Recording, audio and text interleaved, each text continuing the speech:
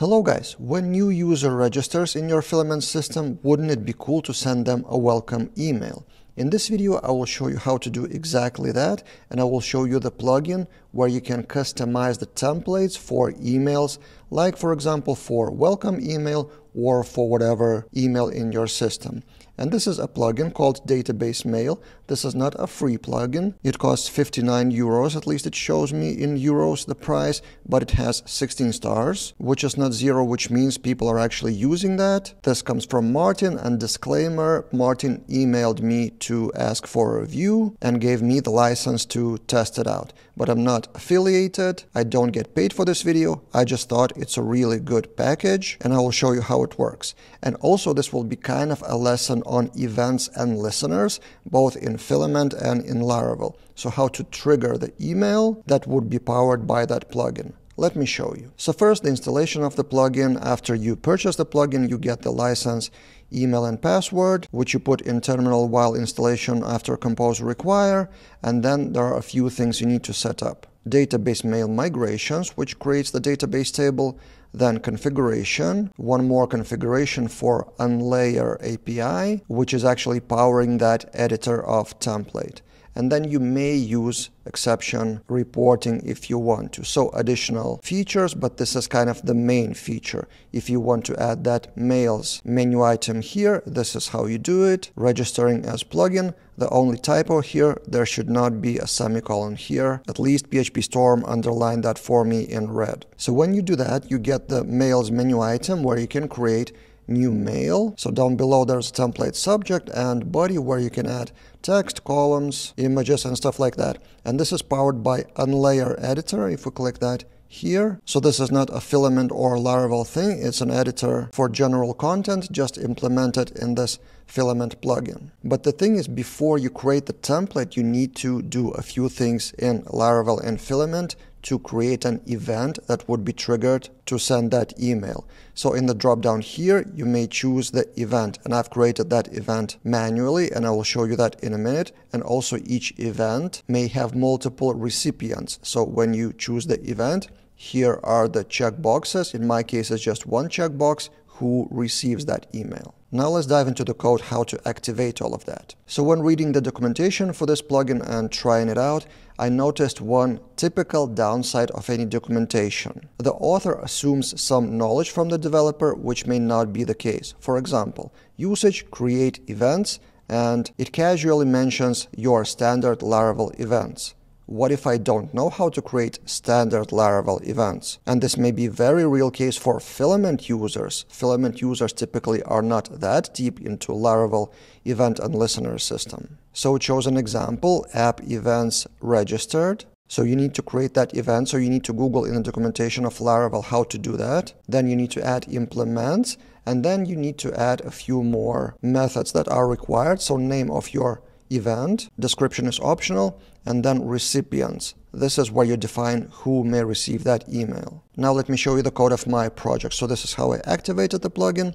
the same as in the docs. And then this is my event. So I run PHP Artisan make event user register. This will be a custom Laravel event. And the default Laravel event has a lot more use things related to sockets and channels. And I've deleted all of that. We don't need that here, but we do need a few things from the package. So implements trigger database email. Also add here can trigger database email.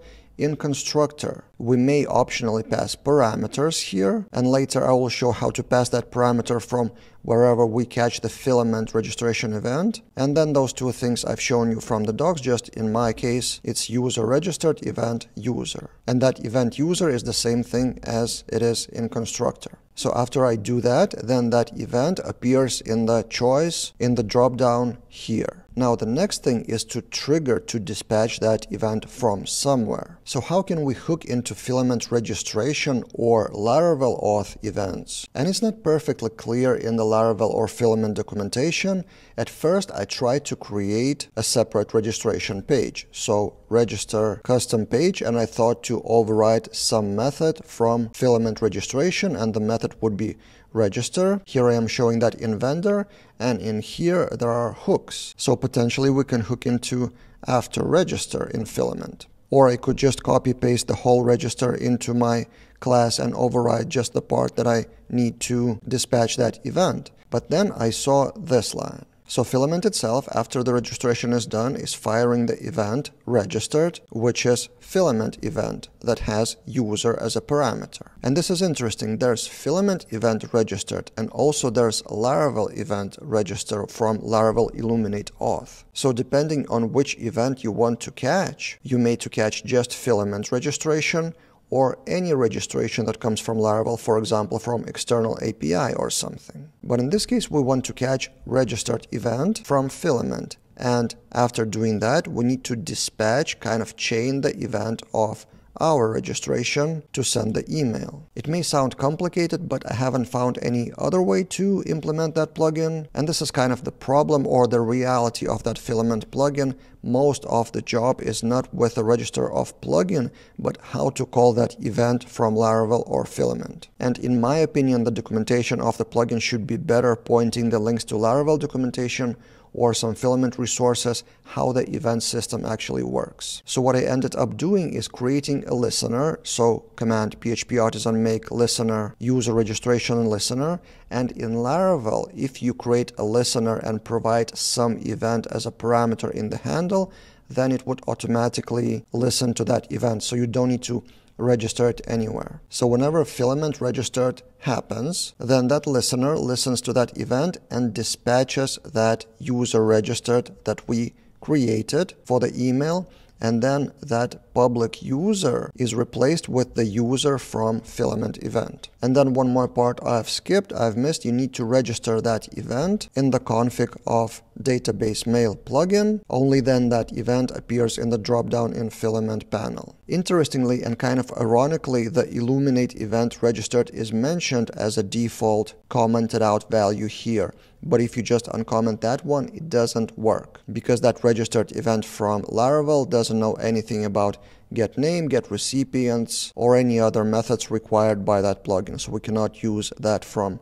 Laravel. And then finally, I've tried it out and sent an email to my Mailtrap in this case. So in my email template, I edit and I have a variable here which automatically goes from that user variable that we pass in the constructor. So you can use parameters like username like you would do in a typical Blade template. That is very convenient. So now if I sign out, sign up for an account, I will use fake filler Chrome extension. And if I sign up, I don't get the email right away because by default that email goes to the queue. So in the database, if we refresh the jobs table and I use database driver for queues, we have that payload to send that email. To actually send the email, we need to run queue work or have that in the background. Now it is running and done in two seconds.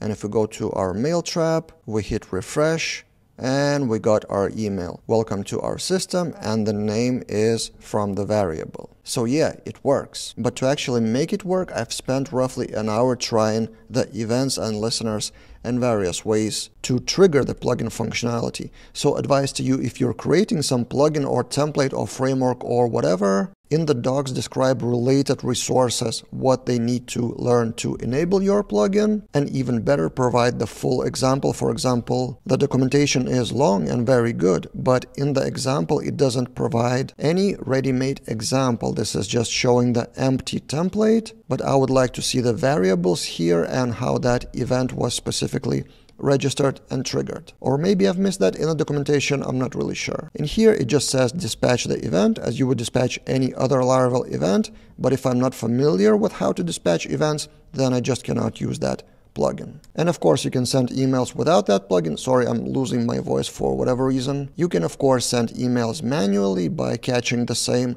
filament auth registered event. This plugin just allows you to create templates or maybe your user administrators who are non-technical to customize those templates like as marketing team. What do you think about this plugin? Would you use it or you have other alternatives to send emails and customize emails in Filament?